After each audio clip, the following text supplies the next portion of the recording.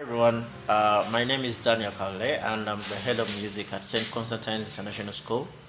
We've had a great opportunity today um, when we got introduced to the UK Talent Show. Uh, we had even a mock competition of two students who were each given 20,000 TZ shillings. I believe this is a good opportunity for young musicians of different talents to showcase what they can do despite uh, the fact that they will be lured in by uh, the, the, the, prizes, but it's also a very good opportunity for them to come out and showcase their, their talents. So we're looking forward uh, for the auditions and we're also looking forward for our students to reach the final. Thank you very much and it was nice meeting you guys. Thanks.